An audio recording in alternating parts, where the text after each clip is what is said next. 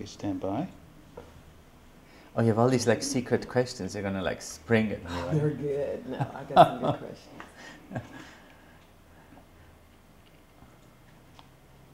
Why don't you try ask what's Okay, my dear, anytime. Yeah, you like to. All right, hi, Hi. Rafal. This is Osiris with Stones in the Color of Rare blog and Ankh Entertainment. And we are interviewing um, a rare stone today, uh, Rafal Zielinski, is that correct? That's right. Yeah, Polish um, name. Polish name, good old Polish name, who has uh, several projects called, uh, one is called Forgiveness, and my favorite, uh, The Tiger Within.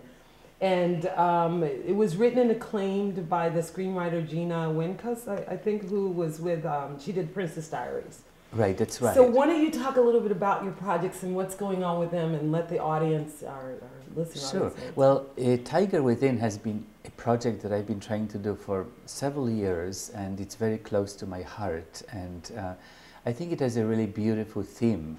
Uh, the theme is forgiveness. It's a story about two people of two extreme backgrounds who are total opposites, who have to come together and learn how to coexist, become friends, and forgive each other.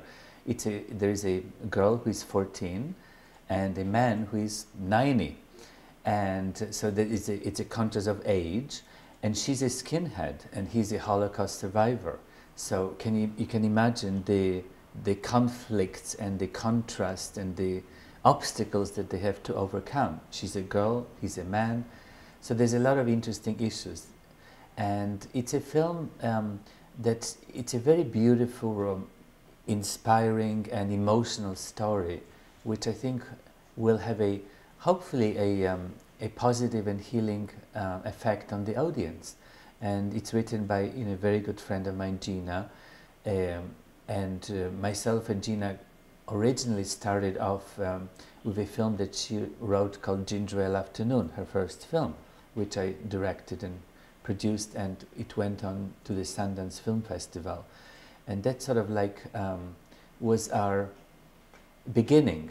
And, and since then, we've always been friends, and we've always been talking about making this Tiger Within, which has been a pretty elusive project to get made in Hollywood. For some reason, it's fallen apart so many times, as if waiting for the right moment in time. And I feel the time is right now because this film, although it's a very small, little, intimate story, it um, has huge, is- huge sort of messages and issues, and I think resonates on a much bigger scale to the whole world at large. It, um, you know, it touches upon a lot of conflicts that are going on in our world today, and perhaps it's a movie about world peace. Perhaps because if these two people can, you know, learn to forgive each other, come to peace within each other, perhaps the whole world can, symbolically. Yeah, So- I interesting. You Yeah. should say that I had a wonderful time watching uh, the uh, little video clip that you have on your site,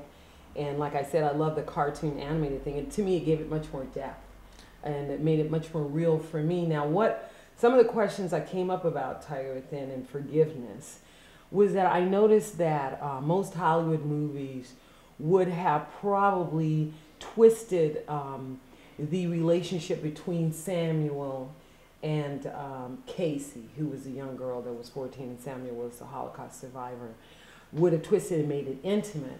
I like the fact that you made it almost like a father, uh, you made it like a father, a very symbiotic father and daughter type relationship, not an older man with a younger woman and there's a sexual attraction. And I wanted to know what caused you to use uh, that sort of theme versus the typical sexual Hollywood theme that um, Right. Well, I think you know. First of all, he he's a person who lost you know his family in the camps. He lost daughters. He had two twin daughters that uh, he that were only maybe three or four years old.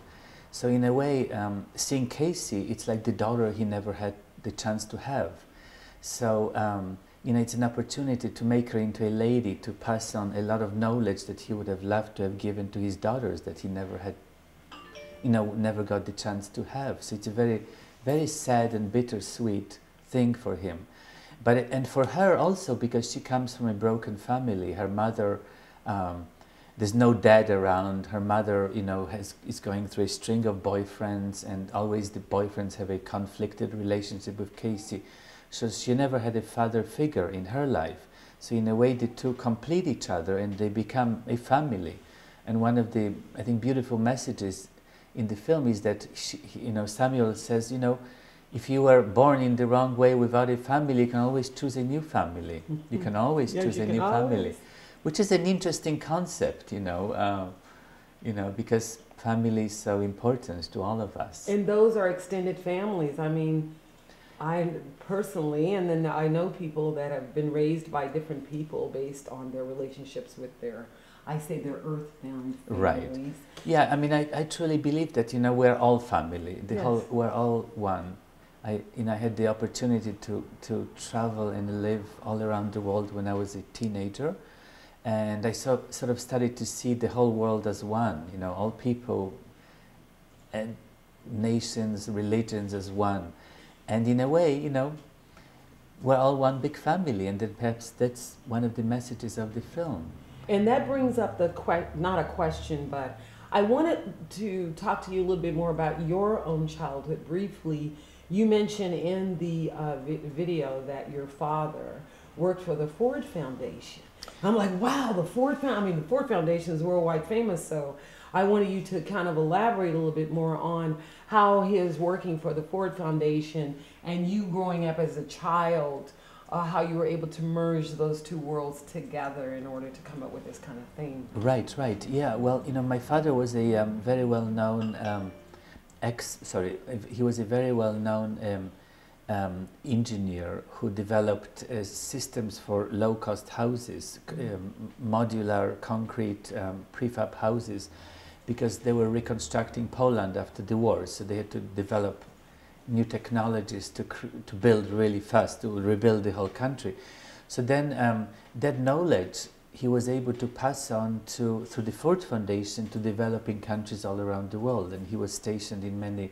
We were in the Middle East first, rebuilding you know settlements, and then we were in. Um, in, this is actually in, in Egypt, where they were the Americans were trying to rebuild the city of Aswan and expand it, and I think they were competing with the there was the, the Cold War. They were competing with the Russian influences, who were trying to build a dam in the Nile. So it was sort of like a political situation. Hmm. So anyway, so my father was in charge of building, rebuilding the whole city of Aswan and developing it. And then later he, we were sent to India, to Calcutta, where um, you know there's a huge demand for low-cost houses, and, and Calcutta is like the world's, the, the hellhole of the world, they say. Uh, there's so much poverty, and um, I mean, literally one of the first projects that he did was he developed a latrine, a prefab a toilet that could be put on the streets because there's no toilet system. All this, all this sewage would just go in open dish, ditches.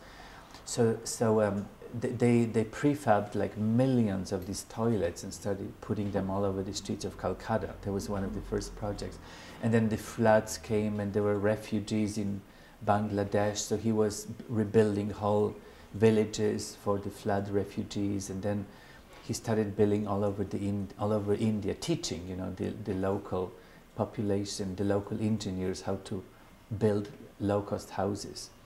So you know we were very fortunate. We were always traveling all over the Far East and the Middle East and the Asia, and um, I was exposed to so much. And I always had a little camera. You know, since the age of seven, I was always filming with my Video 8 camera. I mean, my Super 8 camera, and. Uh, I became like the filmmaker who was always hiding behind the lens because it was awkward, you know, switching so many schools. I always felt very disfranchised and very much sort of like a loner, so I could hide behind my camera and just film everything. So I think that's how I became a filmmaker.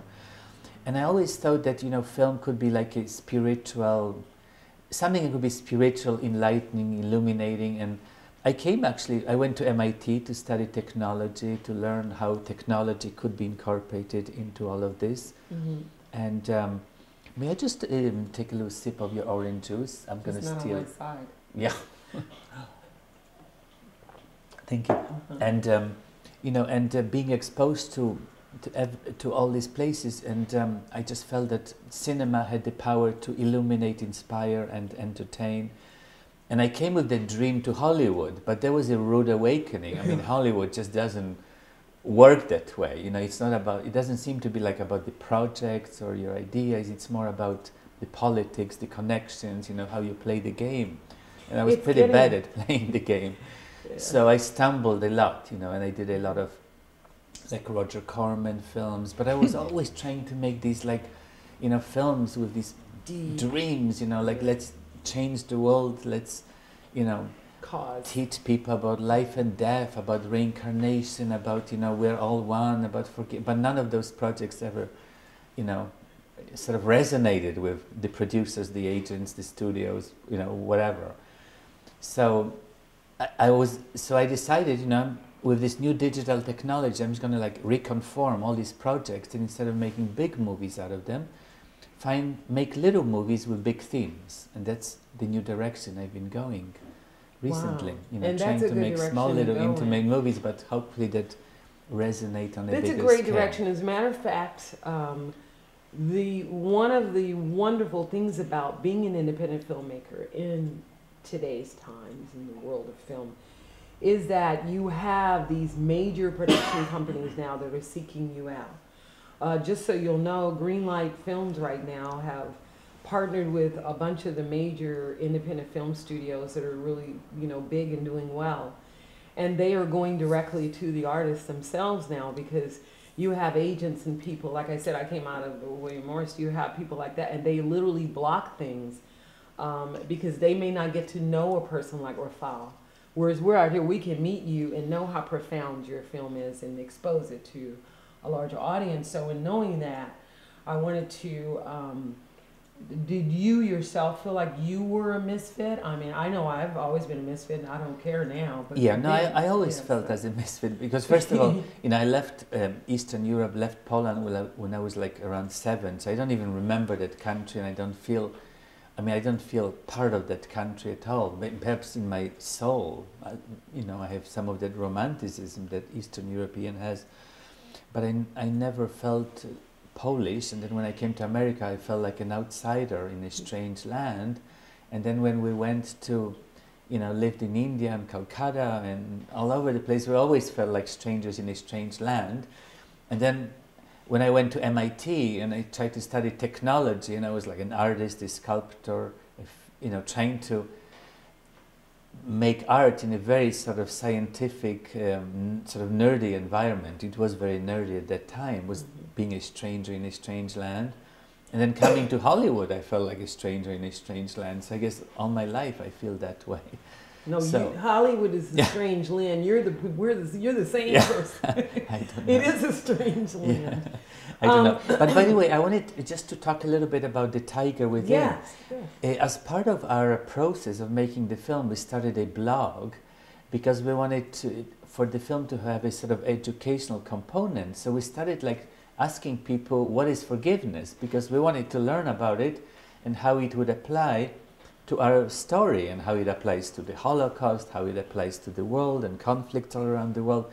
So we started interviewing like a, you know rabbis, priests, Buddhists, and we started posting these on the on our blog and then it sort of evolved into like a side sister project a documentary on forgiveness and that led me to start a non-profit uh, organization for the purpose of making tiger within and this sister documentary and the sort of new direction that we're trying to go into is from now on we want to make a series of films that inspire illuminate and entertain and they are feature films but at the same time they have a sister documentary that's attached.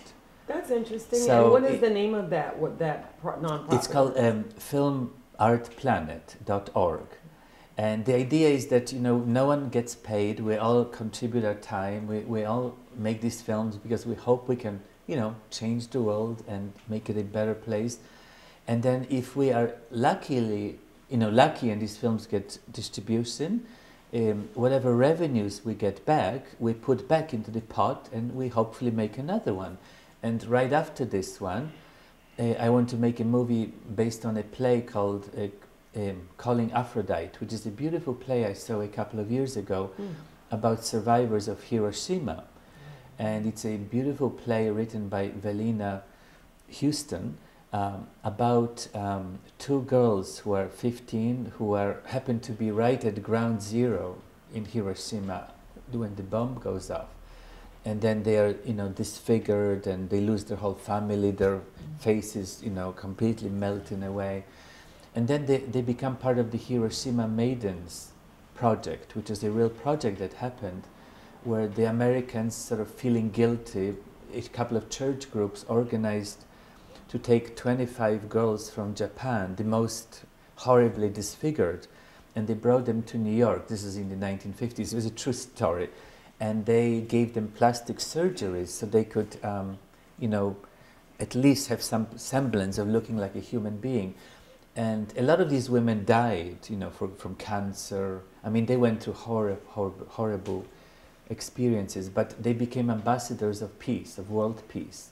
And I think the world is in such a precarious state, you know, now, with the possibility of, of nuclear, you know, a nuclear bomb going off somewhere, whether it's you know in the Middle East or in the Far East, you know, it's getting more and more likely. And even you know during the Iraq War, I, I, Americans were saying, "Oh, let's just nuke them." You know, I mean, you know, it seems like we've forgotten the horror of that, and it's the most horrifying yeah. thing that could ever happen to humanity. The, the pain and the suffering that these people have gone through, and it's sort of so sad because you know, Japan feels embarrassed about it. They call it an accident. And the Hiroshima survivors are very ostracized in Japanese society. They're like hidden away. And Americans feel very embarrassed about it, so they don't talk about it. So it's like another theme of forgiveness. So Absolutely. we hope to do a sister documentary about nuclear war and, and you know, what it can lead to as we make that film. And then the next thing after that is a movie is about based on the Tibetan Book of the Dead, which mm. is about life after death. It's about the journey we take after we die. And the idea of that film is that you know we have to treasure every moment of, of our life as we live because when we die it's all recorded and we, we revisit it and, and it all leads to the next life. And we so, take a lot for granted. Yeah, we do, we, yeah. As humans, yeah. So we, take a to lot for granted. We don't think we can die. I mean, a lot of people don't think Right. You know, Death is something that's just like, oh, completely oh, yeah, like hidden away in our society. it could happen at any So we hope to do a sort of sister documentary, you know, about life after death and people who perhaps can remember past lives or what is death to people. That's so. death. That's an interesting subject because there's a lot of that goes on, you know, especially this time of the year. What I wanted to get back to in, in talking about the theme of forgiveness, as I was talking before we went on camera, is do you think that the happiness and forgiveness go hand in hand? Do you think um, in part of your um, interview you mentioned that the reason that you like using female characters is that you were able to build and develop much more complicated uh, streams of thought or something with female characters. Right. Yeah. Yeah. And I, and I wanted you to expound upon that because I found that very interesting. I've never heard anyone say that before. Right. Well, I mean, there are two components to your question. One about happiness, right? Yeah. Well, you know, and I, I don't know what happiness is. I don't think anyone really knows. I don't think really as human beings we're really, you know, we really desire happiness because once we get it, it's very boring. You know, happiness just leads to no change and no growth. So I think unhappiness is very much very important in our lives, and I think that's what, in in a way, cinema is all about. It's like there's a hero, and something goes wrong, leads to unhappiness, and this hero has to go through a whole process to resolve things. That's what cinema is. That's what all stories are in a way. That's the arc we, we all have to go through in our lives.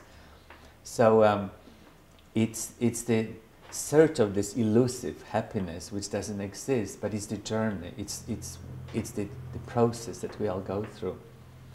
And you know, I've tried to apply that into my films. You know, I, I, I haven't been fortunate to make even a fraction of the films I was hoping to make but I decided, you know, from now on, it's like it's how much love into you put into every little thing. It's not about how much you produce or how big the thing is that you produce. It doesn't matter whether it plays in a million theaters or makes you know billions Absolutely. at the box office. even if it plays, you know, one, on one little screen or just on the web, you know, it, it's the process that counts. It's, you have to put the love into the making, and that's what I think our lives should be, you know. It's how much love we put into every moment of our lives, not the end result, because the end result is death. Just that, that's it's it, over, right? and the So what's the over. point? What's the point of like, you know, collecting billions and accumulating all this power, and That's true. when in the end you have to give it all up anyway, right? Or leave So- it to someone and they make mosh Right. Yeah. Yeah. So, and regarding you know the female characters, um, I I've always been interested, you know, in in um, female protagonists, and I've always, I guess, had female strong female protagonists in in my films, because in in I think in a female character you can, you know, combine a lot of you know sensitive, vulnerable sides to you know with the aggressive sort of male characteristic. And i think women are goddesses you know they give birth. I mean that's a miracle. They they they have this miracle which we don't have so we're very inferior you know so studying them i think um, is a great lesson for all of us so i've always had you know strong female characters i've always been interested and i maybe it's because i can't figure them out i, I have no idea I, i'm a still i'm thing, still trying it? to work them out you know Yeah. and um, they definitely make more interesting characters, at least for me, I think. Yeah. Yeah. Um, what do you feel that? Um, uh, what do you feel about the, the world of cinema with people like yourself? I want you to know that maybe when you first got to the U.S., that was a problem, but now, I mean, it's like more. It's like a weed that is infection right now. It's so many different modes of uh, how to do films, what the film's going to be about, operating right now in a in the small world we call entertainment that it is opening a lot of doors simultaneously. So, what do you feel about the future of independent cinematographers, filmmakers? yes, like well, I, I think what's in one, on one hand, what's really exciting now is that, um, you know, the tools are all accessible and it's very inexpensive now to make a film. Number one. Number two, we've all been brought up now th- through so much exposure to the media, to cinema, to television, to the. We're constantly living in this when you know in this type of environment where, you know, even games. So, you know, there's not as we are not no longer reading as much or writing as much. Sort of cinema and the audiovisual experience has been become our way of communicating. So we're all partaking in the process. So in a way, we've all become filmmakers, and so maybe, you know, the filmmaking gods of the past are, won't exist anymore. We will all be filmmakers, and but on the other hand, you know, we can all be writers. It's so easy just to sit down and write a book, but very few of us can actually have the patience to actually do that and have the the the chance to do it because we all have to make a living you know. So um, so maybe cinema will give everyone an opportunity and break down all the the barriers and gate you know eliminate a lot of the gatekeepers. But at the same time it's going to become much more competitive because now if you're really good you have to um, really rise above you know?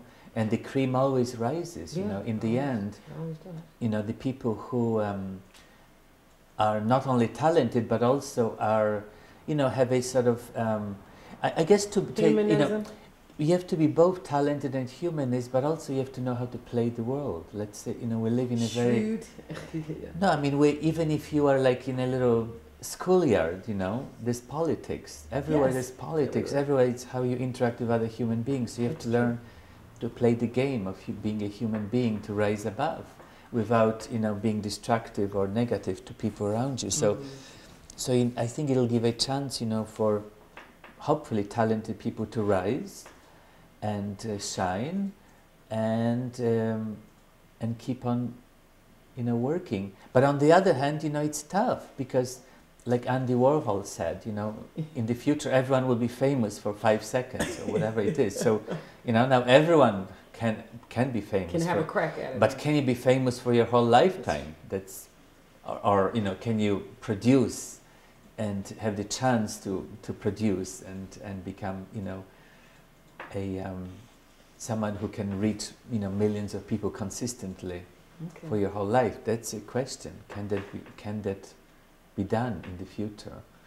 You know, but the other thing I wanted to say is that you know the whole world is becoming very globalized now, right? Mm-hmm. So maybe maybe uh, Hollywood used to control the whole thing, but now maybe it's diminishing in its power. I mean, there is amazing. You know, China is very powerful. India is very powerful.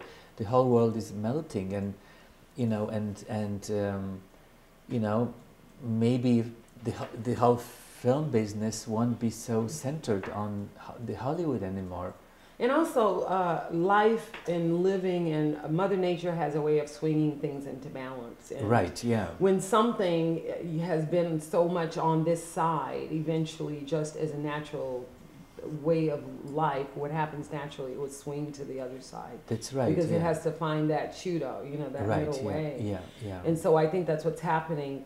Um, I would like for you to just uh, again say your name, sure. say the name of your organization, sure. say where people, the audience, if they want to contact you, donate to your project, announce your uh, your um, nonprofit organization status, and let the audience hear where they can reach you and how they can reach out, and uh, talk to you about forgiveness Right, that's right. Well, I and hope. how to harness their tiger within. Speak directly right. to the camera well, from. yes. Well, w- um, our non-profit is called filmartplanet.org, and it's the organization that will be producing and is producing the current feature film we're working on, Tiger Within, and the sister documentary, Forgiveness is the Future, and we're about to launch a campaign on Kickstarter and and other initiatives to raise funding, and we encourage you to please donate to filmartplanet.org, which you can do right on our website, and to find us on Kickstarter in the near future, and to sign up for our newsletter and our Twitter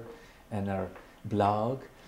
And at the same time, to encourage, I would love to encourage you to buy some of my past indie movies through my online store, filmartmovies.com, because the revenues from these films are going to the non-profit Film Art Planet, which will enable us hopefully to make these future films.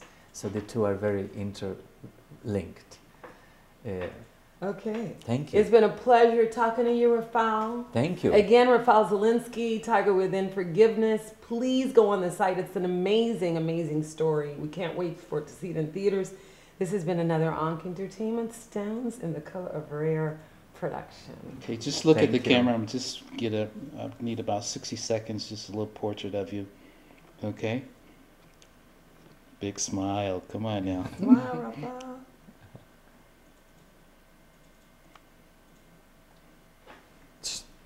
Forgiveness. Peace. Peace, love. Good.